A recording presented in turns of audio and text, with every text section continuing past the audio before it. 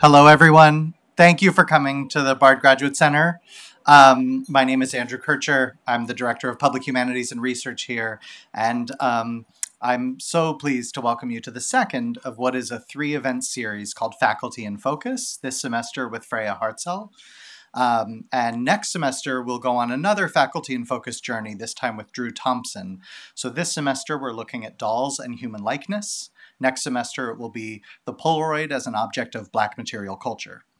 Um, and uh, so tonight, we are so fortunate to have uh, Emilie St-Hilaire with us. Uh, Emilie is a multidisciplinary artist and doctoral candidate in the humanities at Concordia University in Montreal, Canada.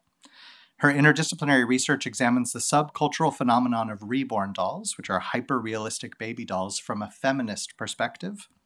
This topic prompts questions regarding non reproductive mothering, adult play, relationships with synthetic companions, and therapeutic self care. Emilie's artistic practice expands on these themes through sculptural installation and uh, photographic productions. She's exhibited her artwork at Canadian and international galleries and festivals and has also authored and co authored writing about ethics and research creation in Canada Art Review, Canadian Art Review, rather, and the International Journal of Bioethics. Her work has been supported by the FRQSC, by Concordia University, Hexagram Network, Francophone, and the Canada Council for the Arts. Um, and so after we uh, uh, enjoy this lecture from Emilie, then Freyja Hartzell uh, will join us uh, via Zoom and we'll have an opportunity for a conversation and questions from you. But right now, please join me in welcoming Emilie St-Hilaire.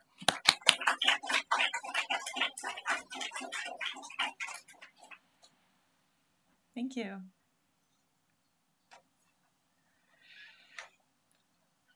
To begin, I want to tell you about this, uh, Nathaniel.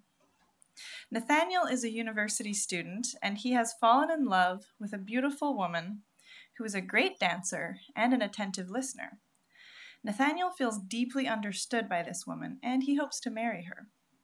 The young man describes his great love to a skeptical friend as follows Olympia may well seem uncanny to you, cold, prosaic people. It is only to the poetic heart that the like unfolds itself. It was only for me that the look of love arose and flooded through mind and senses. Only in Olympia do I find myself again. As you may have guessed, this woman is not a human being. She is, in fact, an automaton named Olympia, she and Nathaniel are fictional characters from E.T.A. Hoffmann's 1817 story entitled The Sandman. I chose to highlight Nathaniel and his declaration of love for Olympia here to remind us that falling in love with dolls, automatons, and statues is nothing new. Also, I love how this description by Hoffmann demonstrates how the synthetic companion not only has life, but brings life to Nathaniel. There are many examples of Pygmalionism throughout history, the most infamous being the original tale of Pygmalion from Ovid's first century collection of poems, Metamorphoses. Whereas the term Pygmalionism commonly refers to the condition of loving a statue, image, or inanimate objects, uh, inanimate object, Ovid's poem follows the character of Pygmalion, who lovingly sculpted his ideal woman out of ivory. So he was the creator of the object of his affection. According to post classical accounts of the poem, Pygmalion named his beloved Galatea. Anthropologists A. Scobie and A.J.W. Taylor explain that, quote, Pygmalion shunned marriage with real women because of their supposed viciousness. He fashioned an ideal woman for himself out of ivory and successfully appealed to Venus to animate the statue. Pygmalion's actions are somewhat practical in that he was able to solve his problem with women by creating a woman according to his own preferences. The endurance and popularity of the story of Pygmalion speaks perhaps to the appeal of the fantasy of creating a perfect partner from scratch. A narrative that attests to a de- desire for perfection in and control of one's love partner. This fantasy, in and of itself, may seem innocent enough, especially if we keep in mind that the synthetic companion is not real. But the tendency is troubling. given the history of limiting autonomy and repressing independent thought in women. Consider, for example, how often women have historically been made to act like dolls silent, meticulous, um, meticulously dressed, pliable. Whether in reality or in fictional depictions, this comprises a lingering stereotype that conflates dolls and women as malleable and powerless. This long-standing stereotype may contribute to lingering preferences for the doll-like and for dolls. This overlap between human and human-like and the fear or uneasiness that comes with the not quite human accounts for the many conventions and restrictions around the use of human figures throughout history. Nevertheless, dolls continue to act as surfaces, surfaces onto which to project dreams and visions. Facing an empty figure can allow a reflection of the self, unsullied by the perception of another person. It can allow for an empowering rehearsal of love, whatever form that may take. And this can therefore allow for cathartic interactions that might not otherwise be possible. Through the doll, an owner can see how they can be seen how they would like to be seen. And this can provide comfort and confidence and contribute to self actualization.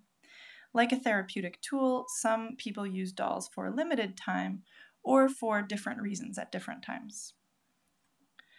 Synthetic relationship is my preferred term for the practice of sustaining meaningful interactions, um, meaningful personal interactions with a synthetic companion. In a synthetic relationship, the companion may take the form of a human figure, or it may exist exclusively as an artificial intelligence, such as a chatbot, for example. The term synthetic, which means artificial, invented, or an imitation, refers not to the relationship or the emotions produced, but to the human companion, the non human companion, sorry. The emotions that emerge from a person's synthetic relationship are real.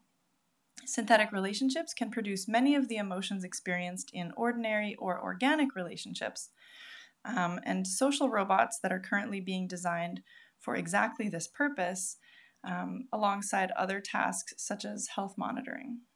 I believe synthetic relationships with dolls are instructive when it comes to understanding the potential for social robots and AI generally in um, to develop meaningful relationships with people.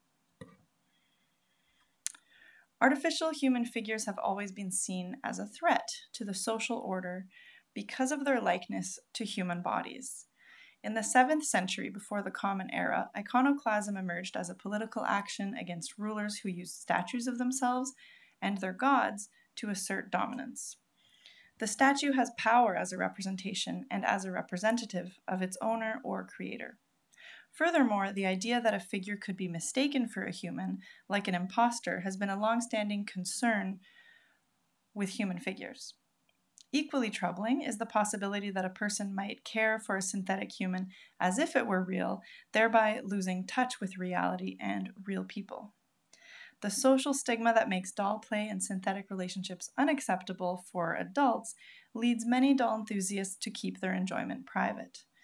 Although a fictional example um, that we see here, a scene from the film Her, this same social stigma is experienced by characters like Theodore, who initiate relationships with operating systems. In this scene, we see Theodore enjoying a lovely day out with Samantha um, as they talk, and she sees what he sees via his mobile device in his pocket. The fact is, for some, intimacy with a human figure or artificial intelligence is preferable over intimacy with a real person. Inanimate, uh, intimate situations, sorry, Intimate situations can cause a person to feel vulnerable, which is why, for some, a doll is an ideal surrogate partner for such interactions. With a doll, the doll owner maintains complete control. Synthetic relationships may appear narcissistic to a fault, but the practices I will describe here actually demonstrate a strong desire for social connection. Although adult doll play remains a fringe activity, there are a growing number of supportive real world communities available to enthusiasts. It is important to note that synthetic relationships normally exist in addition to organic relationships, a point that is frequently overlooked. Synthetic relationships fulfill a different emotional desire than organic relationships. In recent history, technological enhancements have provided strong justification for creating human figures. Robots, for example, can perform service work. But new forms of surrogates have not alleviated the long-standing fear that these synthetic humans or their admirers could become uncontrollable. On the contrary, the fear of synthetic life grows as human figures become more realistic, with material advancements such as silicone bringing synthetic faces to life. Reactions to artificial life seem outsized, however, given the actual pace of development of artificial intelligence. Both reborn dolls and sex dolls have benefited from enhancement via sophisticated materials, such as high grade silicone, in order to produce an uncannily realistic appearance. And I'll describe both reborn dolls and, and sex dolls shortly. Um, this level of realism that we have now supports the illusion that the human figure is alive, but a doll owner hoping to develop a meaningful relationship with their doll must not simply delight in an optical illusion that is a striking iconic representation. They must also be willing to engage their imagination. In this way, every interaction with one's doll is an investment in its status as a companion. How does this interaction work, given that the doll owner knows that their doll is a carefully crafted object and not a living being? Imaginative perception is the use of one's imagination to consider a circumstance in relation to a perceived image or object that would not be evident without the use of imagination. I borrow this term from philosopher Catrin Misselhorn. Drawing from debates on pictorial representation, Misselhorn explains, quote, Pictorial experience invokes a combination of perception and imagination.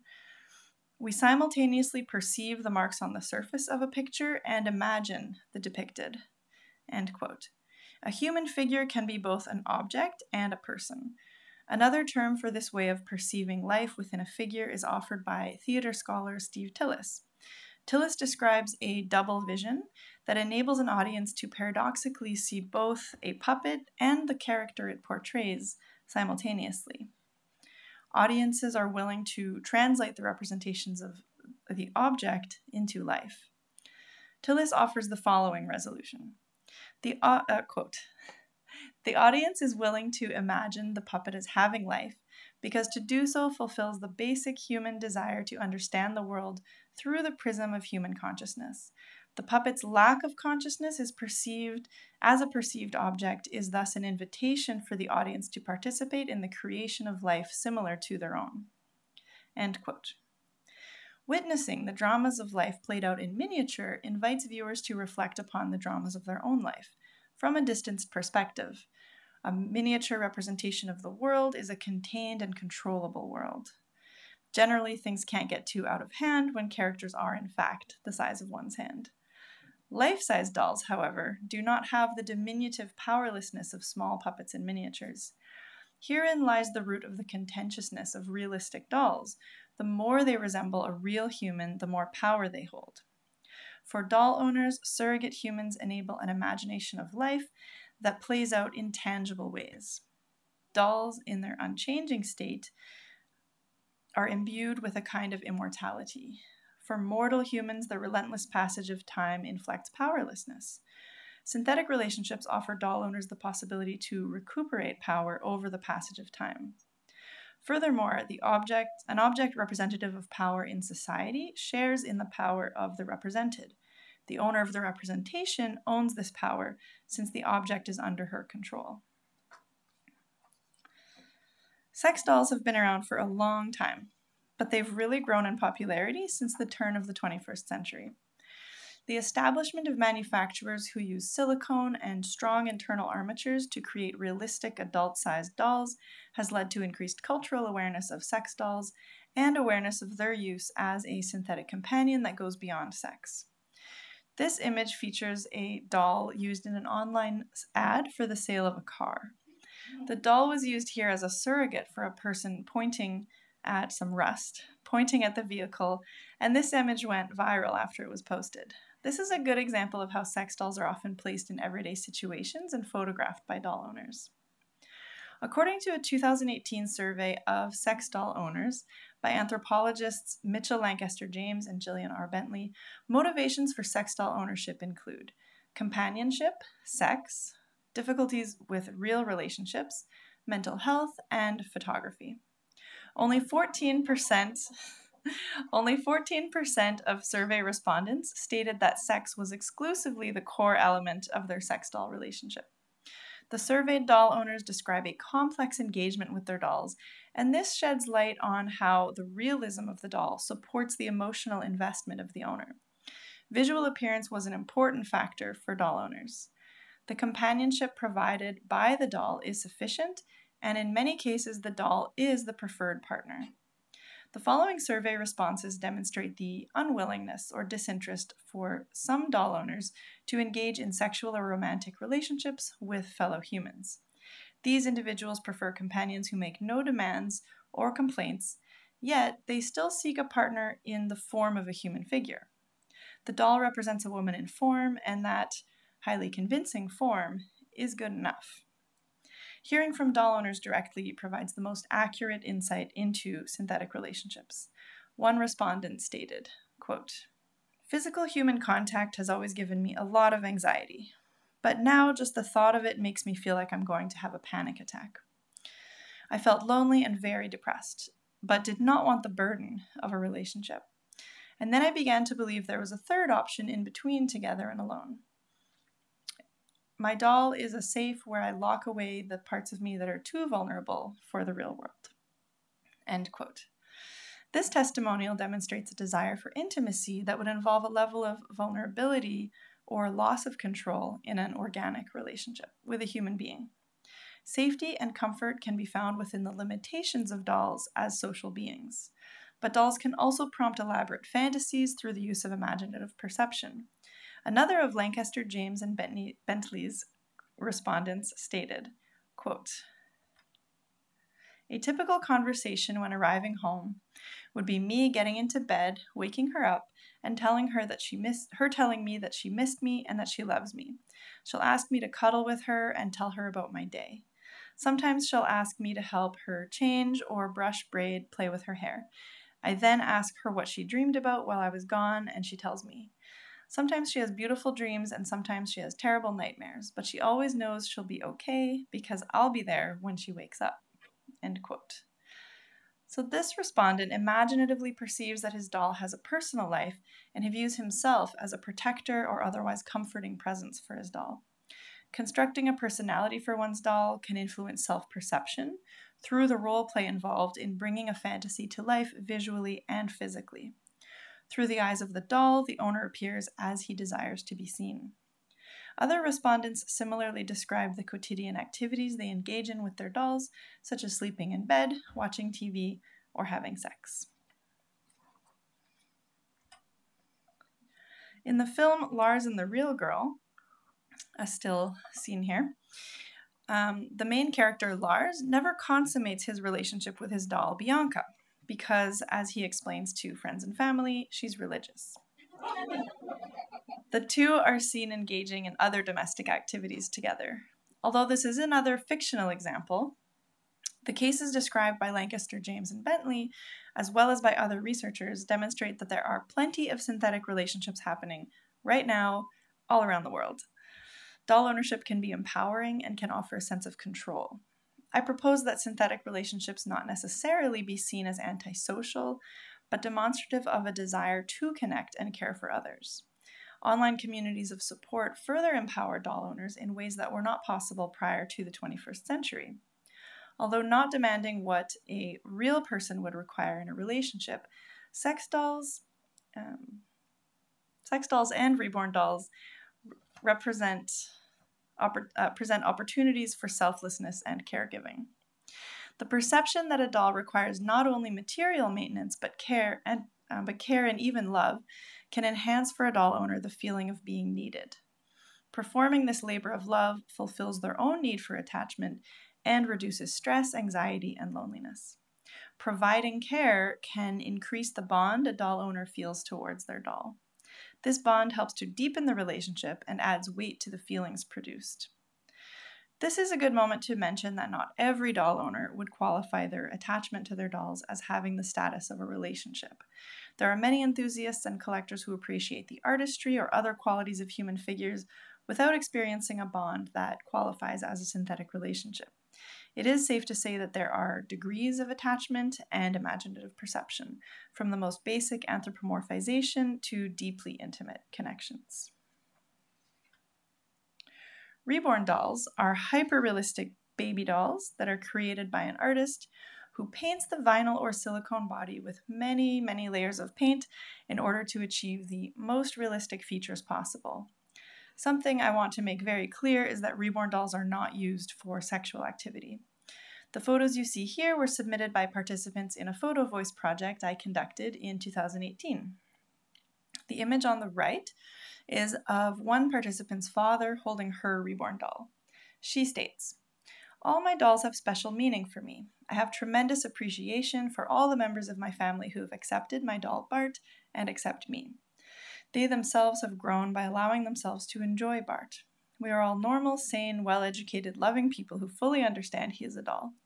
We are bold enough to fully enjoy him and publicly educate others that are brave enough to ask about him and want to know more. Only great things have come from my interest in reborn dolls and bringing Bart into my family.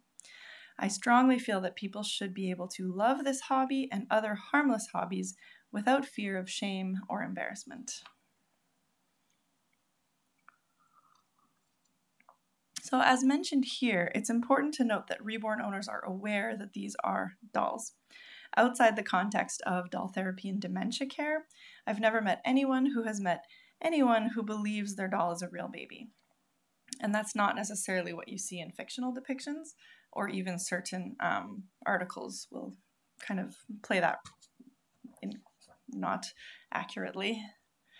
So, furthermore, um, reborn doll collectors are not exclusively childless women over a certain age, as many people assume. I conducted an anonymous survey in 2018 at a large reborn doll convention, and only a slight majority of my 67 respondents were over the age of 35.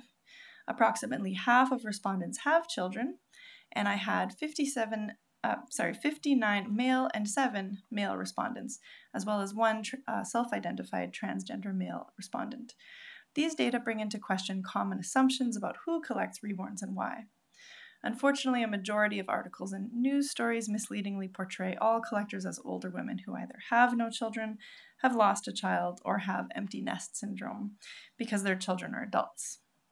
This stereotype is perpetuated by journalists or scholars who rely upon existing media and even fictional depictions of reborn doll owners rather than meeting collectors firsthand, or they seek out collectors willing to share a particular kind of story. The actual reasons why collectors enjoy reborn dolls are much more interesting and complex than loneliness or grief alone. According to my survey, the top six activities undertaken with reborn dolls were dressing, as in changing clothes, cuddling, making the dolls, which is known as reborning, shopping for accessories, shopping for um, shopping for accessories, photographing the dolls, and socializing with other enthusiasts. Um, the shopping for the doll is also kind of part of the fun. For many doll owners, reborns reduce stress and can alleviate anxiety. The doll can be left alone for long periods and then picked up for a cuddle anytime. There are a range of benefits and motivations evident amongst reborn doll enthusiasts. Some reborn um, some reborn owners enjoy role playing or imagining a personality for the doll, while others just appreciate the aesthetic and tactile qualities. This comparison list shows just how similar sex dolls and reborn dolls are in terms of characteristics and the activities they enable. Reborn dolls most commonly take the form of a baby, sex dolls most commonly take the form of an adult woman. Um, for both, there are adult collectors and owners. Um, a lot of kids do like reborn dolls, but they're so fragile and expensive that a lot of artists actually say this is not a toy, this is not for children. Um, but there's different different kinds. The higher the realism, the more expensive it's going to be. They both offer companionship and comfort. They enable imaginative play. Maintenance and care is required for both. There's clothing change possible. For both types of dolls, there are some mechanical options available. and the sexual activity part is different.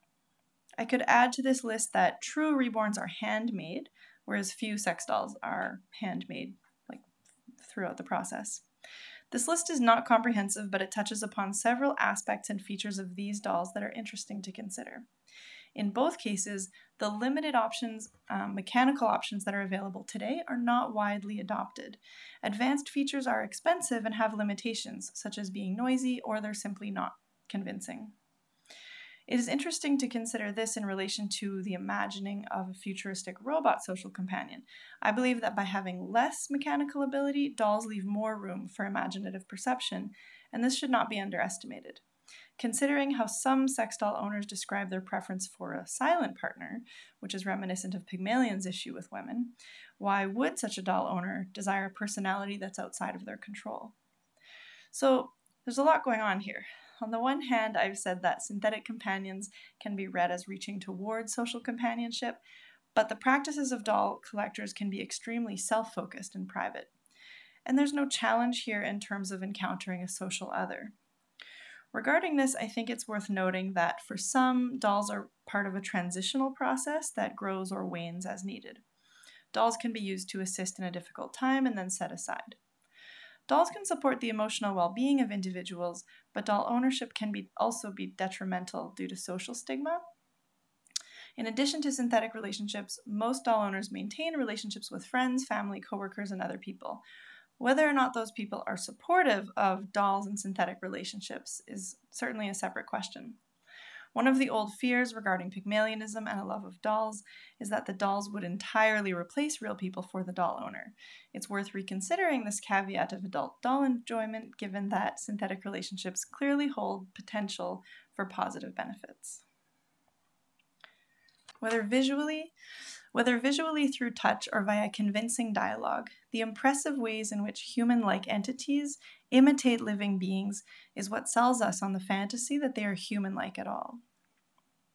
Based on the multitude of stories that exist in which dolls, mannequins, or toys come to life, audiences are clearly eager to see these creations come alive, regardless of the consequences. This devel- the development of robotics and artificial intelligence has provided a new justification for the creation of human figures, namely that androids could perform the service work that humans find unappealing, time consuming, or that there simply isn't anyone available to do. For at least the latter half of the 20th century, science fiction and cinematic storytelling has provided an endless supply of robotic surrogates, surrogate humans in the form of cyborgs, replicants, automatons, synths, and so on. They generally start out with a mission of servitude and support of humans. These representations have extended far beyond what is actually possible in terms of visual likeness and mechanical abilities of robots. Still, the fantasy of an electronic servant and the need for companionship justify the development of human like figures. For many doll owners, visual likeness is more important than mechanical ability, and clearly dolls can vividly come to life for the owner with minimal intervention. Much like Nathaniel, who fell in love with a woman who barely spoke, in some cases, less is more. I want to propose that in terms of bonding, providing care for a synthetic companion and leaving room for imagination is more important than the technological abilities of the artificial human. The social stigma against synthetic relationship synthetic relationships is rooted in centuries of parabolic storytelling about the dangers of artificial life. As we learn more about the potential outcomes and positive affective states produced by synthetic relationships, adult doll enthusiasm should be considered within the context of personal well being and self actualization. It is probable that synthetic relationships will continue to gain prominence and cultural relevance in the future as outdated social conventions fail to reflect the realities of the advanced digital era. Let's remember too that it is not the doll itself that has been policed over the past few hundred years so much as the doll owner. And this simply reflects the dangers of going against the status quo. Virtual communities supporting fringe interests have enabled individuals to connect and rise above social opprobrium they face when pursuing their hobbies. Doll collectors are frequently quoted saying, If I'm not hurting anyone, there's no harm, and they feel they should be free to enjoy their hobby as they please. I mention this because doll owners are frequently the subject of human interest news stories that go viral every month or so as news outlets pick up on the hobby. Editors tend to write story leads that sound shocking, but the most fascinating aspect of synthetic relationships is how commonplace it is for someone to prefer the company of dolls. At least some of the time.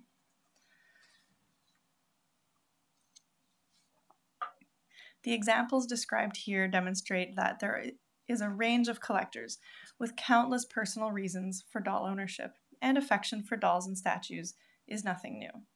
What is unique today is how synthetic relationships can develop with the support of imaginative perception, um, advanced materials, and online communities of support. Dolls offer a sense of power and control, so an increase in doll enthusiasm could be seen as an increase in the desire for control. The physical presence of the doll is a powerful prompt for the creation of a synthetic relationship.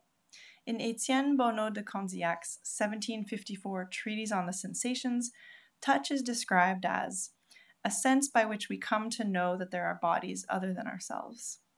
Touch aids us in the identification and differentiation of ourselves and others. For those living a solitary life or experiencing loneliness, the ability to touch another body, even a synthetic one, can be a comfort and can affirm one's sense of self. In this respect, silicone is a great advancement over cloth, leather, marble, and other materials used in the creation of human figures in the past. Silicone is soft, supple, and it holds pigment well. The provision of material goods, for example, shopping for one's doll, can help owners bond with their synthetic companions, as can other kinds of care. Often, when people see adults using dolls, there is an assumption that the doll is being used as a therapeutic tool. Given that health and well being are complex and ever changing states, it isn't possible to know exactly what benefit a doll may be supplying to an individual on any given day. Assumptions about the presence of a mental health or social problem because of what is perceived as a synthetic therapeutic, sorry, treatment should be avoided. Evidence from doll therapy in the field of dementia care demonstrates that providing care can actually fulfill an individual's need for attachment, even when that care is directed towards a doll. Drawing from this research and other studies mentioned here, including my own, a range of benefits that can be identified from doll ownership include comfort, anti anxiety, anti loneliness, a passion for collecting, defeating the passage of time, identity building, exerting control, connecting to a community, and of course, fun is often a primary motivation for doll enthusiasts. These benefits are exclusive to those who have chosen to connect with a doll. For those who are interested, synthetic relationships can contribute to well being and the fulfillment of needs where alternatives could be detrimental or are non existent. The personal stories of reborn and sex doll owners attest to the fact that they feel a strong bond and a sense of duty towards their dolls. Given the individualistic nature of contemporary urban life and the virtual or otherwise synthetic quality of many interactions and activities today, is it, is it surprising that many dolls, uh, that many adults are finding fulfillment and feeling needed by a surrogate human? Doll ownership is not for everyone, but the emotional investment is worthwhile and beneficial for those who choose to share their life with dolls. Looking at how doll owners use their imagination to bring a synthetic companion to life, regardless of what it is they're doing, provides insight into how robots might enter our lives and come to mean something to us, not in place of, but in, exist- in addition to existing relationships. Thanks.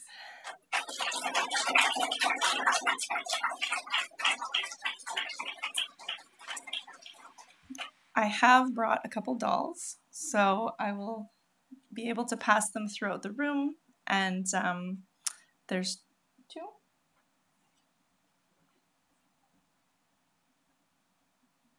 So this doll is uh, reborn that I made from the kit. So I reborned her myself, and uh, she goes by the name of Fabi. And um, I'll pass her around. The other one is a chimpanzee uh, doll, and this is part of a category of fantasy animal reborns that also exists. So you can uh, have a feel. So while the dolls are passed around the room, uh, we will have a brief conversation uh, first between uh, Emilie and Freyja, because as I mentioned, this whole sort of trajectory of faculty and focus is really uh, it's an opportunity for Freyja to dig deeper into this question of dolls and human likeness. And so Freyja identified three uh, scholars and, and artists that she wanted to engage with. Uh, so this is this is a moment for the two of you first and then i'll open up uh, for a chance uh, for you all to ask some questions as well. But first Freyja Thank you. Um, I have uh, this, this, first of all, thank you, Emilie, so much. This provokes so many questions for me and so many thoughts.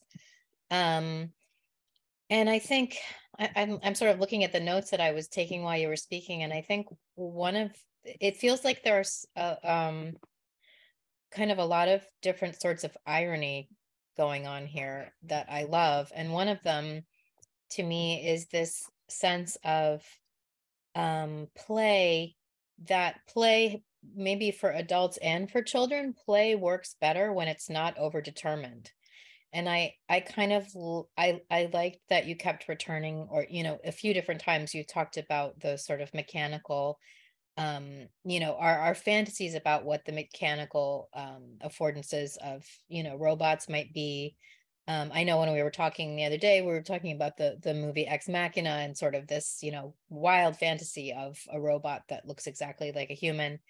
Um, but this this kind of, at least to me, it seems like an irony of the more the more the doll can do things on its own, the more it can kind of interact with you, the less the less of a relationship there actually is.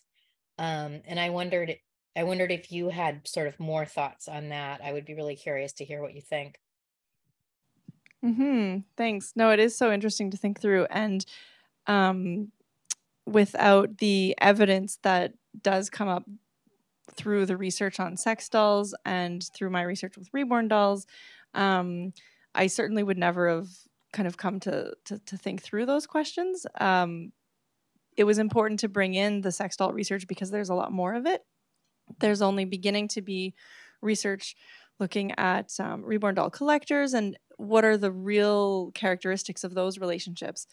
Um, there's even more research on doll therapy and dementia care. So I've looked at those studies as well to know what's going on there. And um, again, it's a little bit even hard to tell in those contexts because you don't know, but the benefits that become visible are that the doll brings out a social aspect, um, particularly for uh, folks with Alzheimer's or dementia. It can reduce agitation, and this is a non pharmaceutical option. There are a lot of issues with pharmaceutical options for um, caring for for people in this situation. So, yeah, um, I guess it just struck me that that fantasy is first of all we're so far from it and there's like this fear.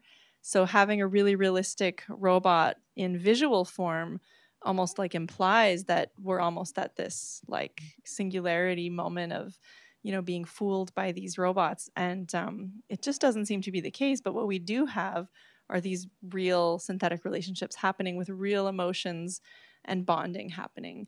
So yeah i guess um, that's that's kind of how i got to this point. But it's uh, maybe just the beginning of what more what more can I look at, and that front is you know a future direction for sure. Yeah.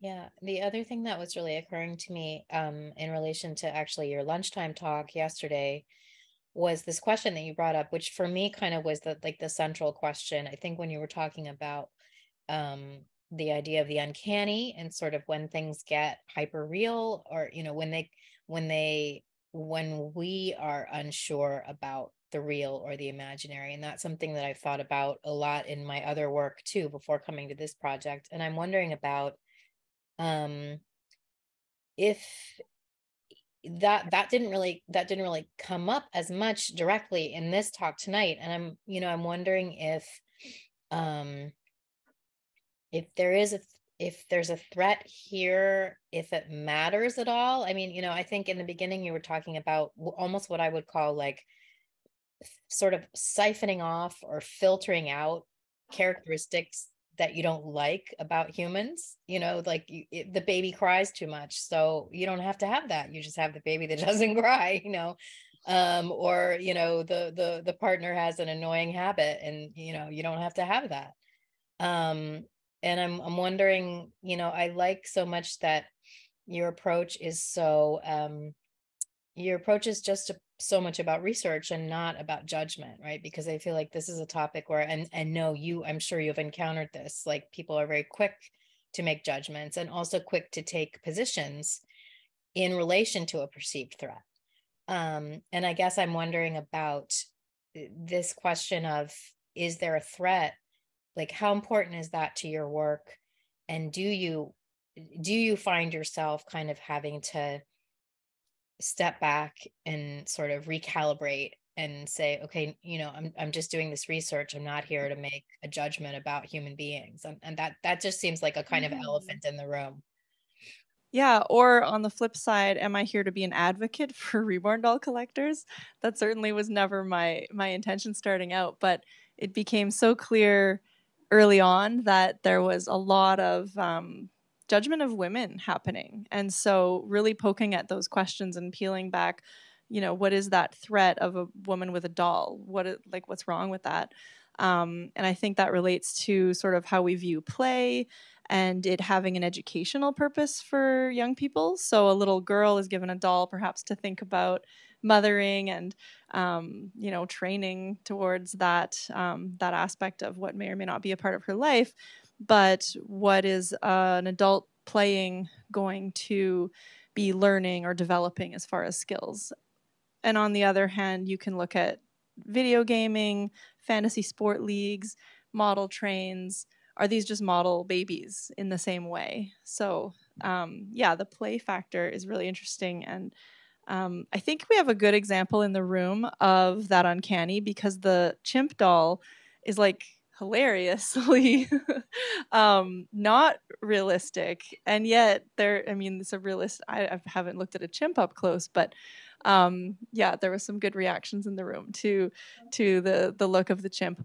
So the the playfulness um, comes out as well within the community and that became clear to me especially going to the doll exposition a gathering of 500 doll enthusiasts mm. um, reborns specifically in the us that i went to that was an atmosphere of just joy and admiring the artist's work having a competition they had a baby shower event where you could buy a ticket and there was all sorts of events and challenges and food um, no drinks. It was in Utah, so um, but still a really a really fun gathering for for collectors. So I guess that really just gave me the sense that you know even even things like an adoption certificate or putting a diaper on the doll, it's all done in a very knowing um, way, and really the doll is the preferred thing. So there, you know, it, we've heard um, or at my talk yesterday, I played a little clip from a video, someone saying,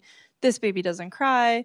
Um, as you mentioned, Freyja, there's uh, there's big differences, and truly, like they want a doll. Uh, that's something I think that tonight's talk highlighted as well. It's not uh, really a surrogate, which then reinforces what is the threat. You're not going to have, you know, women going out to steal real babies just because they like babies and baby stuff. So it's kind of a nice um, way to enjoy babies and baby things without having to have a baby um, or maybe reminisce and and have that uh, that experience with the doll yeah, yeah. I, I think I have just one more comment, and then I'll, uh, you know, I'll let you guys do your thing. um, but the, I was so struck, and I don't know, you know, uh, I don't know if it's me trying to make everything into a bigger a bigger thing than it is. But I was very struck when you talked about um, um, Steve Tillis, who's somebody we talked about yesterday too, um, and this, you know, this this double vision where, or or imaginative perception. I love this term too. That you can, you know, you can understand something as an object, and also imagine its life as something else. Um, and I hadn't quite made a connection in my own mind, at least, to, that also to me seems like a very good definition of play in some ways that you are you are occupying this very kind of ambiguous space um, where things are sort of shifting positions and subjects and objects are sort of like in a dance of sorts. And i i kind of that seems like a very inspiring thing to me especially right at the moment you know where it seems like so much of life right now is about taking a position and not deviating from it and kind of you know swearing allegiance to something and um and this idea of sort of occupying this flexible space you know where something might be one way at one moment and another way at another moment um seems like in many ways an antidote to that kind of rigidity um and i i don't know i'm curious if you have thoughts about that but that's mm-hmm. really more me on a soapbox no that's a good point about the current the current moment and how it can feel so uh kind of rigid in that way black or white uh, something that's come to mind is the the play theorist Brian Sutton Smith talks about um, I think it's him referring to studying animals and play and how a puppy will nip and it's pretending it's play fighting. Mm-hmm. It the nip is not a a, a bite, it's a nip, and so there's yeah maybe space for that within this practice for sure. It's mothering, but it's not mothering, and so I've, I struggled with that question because I did all this reading on motherhood and maternal theory and then I was like is that even what's going on here because when I spoke to people there's not changing diapers and giving bottles or breastfeeding. Like that's the sort of sensationalizing, I think, of what's really going on because the people I talk to aren't doing those kind of things. They're certainly not sharing that with me, but you do find vis- videos on YouTube of certain routines and role play that I feel are really more for YouTube. So that's a performative thing for an audience and there are there is an audience for that. There's lots of um, accounts to follow if you want to watch people play with their reborns and play with dolls. I mean, there's YouTube channels for absolutely everything, but that's one of them. So, no, I think that's a really good um, question, and perhaps a space where this this practice with dolls can maybe even be instructive to, um, yeah, opening up this this other space, this third space of play for for adults or or whoever for those who are interested. Great, thank you. Um, now is an opportunity for us to open up the conversation to include you all. Uh, I just have uh, one sort of ground rule that I'd love to establish. In the spirit of generosity, if you have a comment, that's what the beer and wine moment after the event is for. Um, please cut straight to the question because that opens up the space for everybody to participate. Um, I will model uh, first just by saying, um, I, I want to know how did you get how did you fall into this subject? Um, yes, it, it came about in 2016. Never would have thought that I would be doing um, a PhD, which is years of my life thinking about dolls. But uh, in a class that I was taking for my coursework, I watched a video on YouTube. Um, it was a documentary about reborn dolls, and in retrospect, really sensationalizing the practices of some reborn doll owners. So that piqued my interest hugely because they, they really made it look as if these women were pretending it was a baby doll, just all the first impressions you get, you know. So I totally get um, being in that position of feeling creeped out, curious, what's going on here. Um, and for me, that led to uh, a new topic for my PhD. And so the rest is history. Thank you. Uh, yes, and we have a microphone that'll come to you. Thank you, Josh. Right there. Thanks. Uh, thank you for your talk. It was very interesting.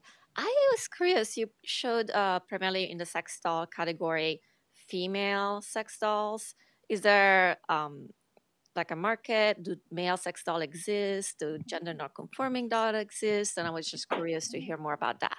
Yes, there there are definitely, and um, again, there's so much more out there on this. So there's like documentaries with, um, I forget his name, the guy who owns um, Real Real Dolls, uh, Mark Mullen or something.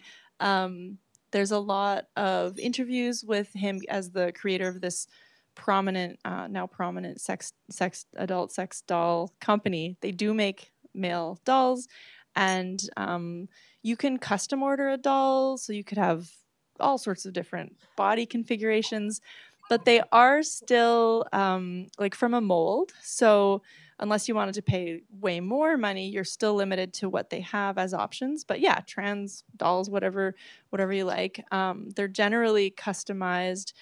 uh, in terms of ordering like the face. So you're, I think the consumer really gets to feel like they're designing the doll of their dreams as they as they uh, spend money on that.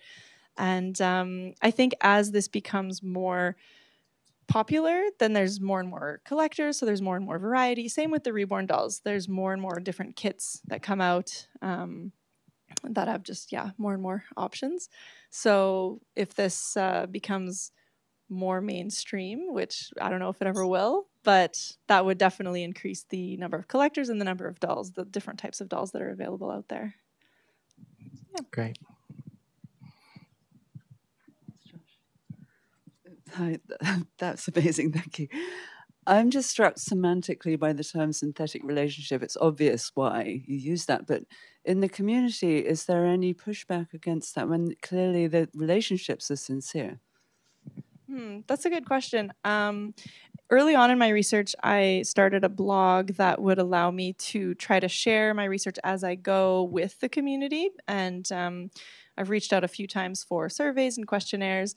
But the term synthetic relationship is not something that I've um, really introduced or brought up a whole lot.